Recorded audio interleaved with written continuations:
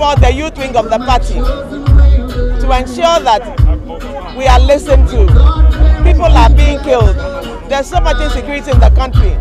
It's like suddenly nobody has a voice in Ghana. If you speak, you are scared that you'll be killed. It's getting too much. Many people are dying without any good cause.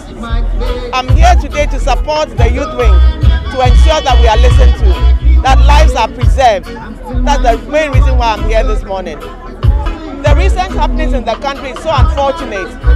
It's like suddenly the whole country, it's like the country, there's so much lawlessness in this country as of now. It's so sad. Lives are lost simply because a mobile phone gets missing. What kind of country are we in? The very people who are supposed to defend the country are now attacking us in the country.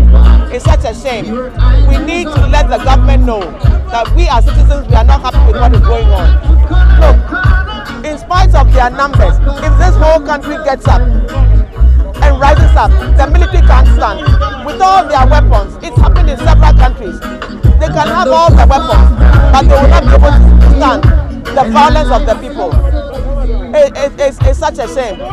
These are the things that that we prevent the Arab Spring kind of uh, uprising in this country. This is what we have to do so that the government will listen and realize that no, the people are not happy. It's, it's such a shame.